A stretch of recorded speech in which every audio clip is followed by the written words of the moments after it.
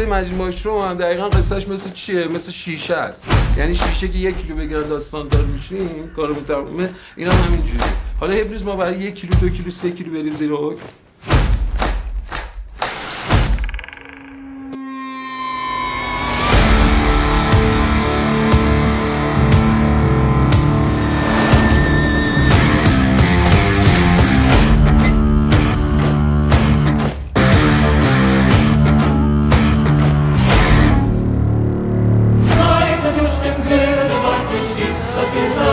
یارو گیرت آورده بدبخت.